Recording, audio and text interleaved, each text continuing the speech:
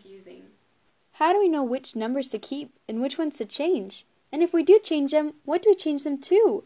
There's so much going on at once.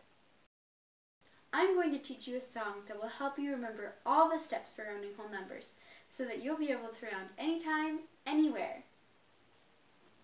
First, let's hear the song.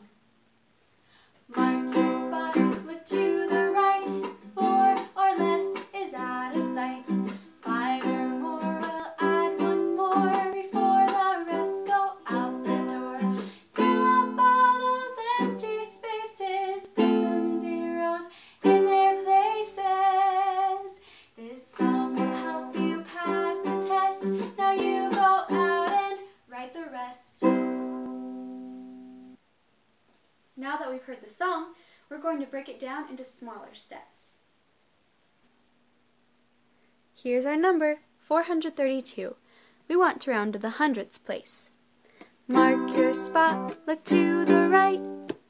There's the mark for hundredths place, and here's the spot to the right. Four or less is out of sight. Three is less than four, so it's out of sight. We'll cross it off and write a zero above it so we remember. We'll add one more before the rest go out the door.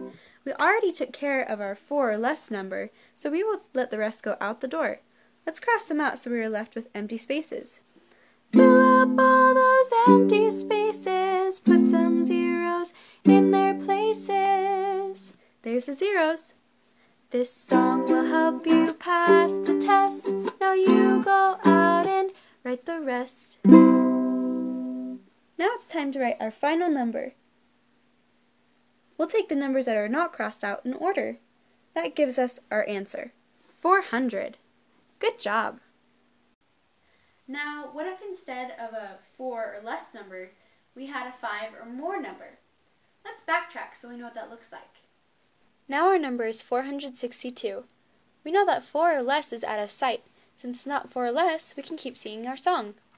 5 or more, we'll add one more. 6 is greater than 5, so we're going to add one more, but to the spot we marked this time.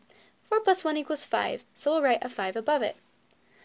5 or more, we'll add one more before the rest go out the door. Those ones are sent out the door. Fill up all those empty spaces, put some zeros in their places. There's the zeros. This song will help you pass the test. Now you go out and write the rest. Now we write our final answer 500. Now that we've gone through all the steps, let's do it a little faster all together. This time we're going to round the number 6,723 to the thousandths place. Here we go.